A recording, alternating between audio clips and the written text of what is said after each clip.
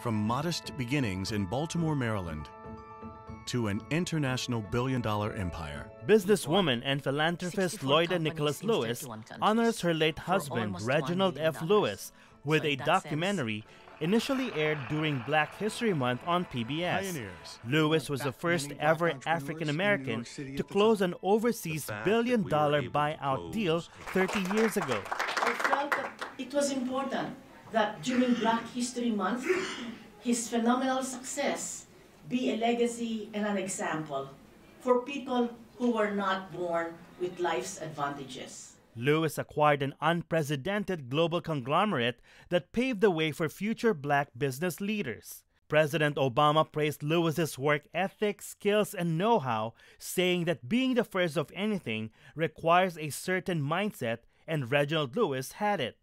With a single investment, Lewis became one of the wealthiest men in America at that time. He is the Jackie Robinson of finance because before that, nobody has even done a billion dollar deal.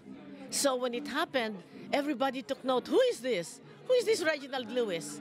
And for especially for African Americans, it gave them hope. With his wealth, Lewis supported causes in the African American community, including funding Jesse Jackson's Jackson's campaign. Funder, handing Jesse Jackson a hundred thousand dollar check unsolicited.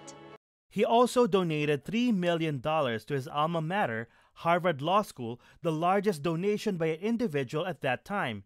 In gratitude, Harvard named the Reginald Lewis International Law Center after the billionaire philanthropist, the first major facility named in honor of an African American. Nicolas Lewis, who took over her late husband's business empire after his death in 1993, says Filipino Americans can also learn from this iconic business leader. Pioneers, Reginald Lewis and the Making of a Billion Dollar Empire will soon re air on April 23rd on WLIW and on May 8th on NJTV. Don Tagala, ABS CBN News, New York.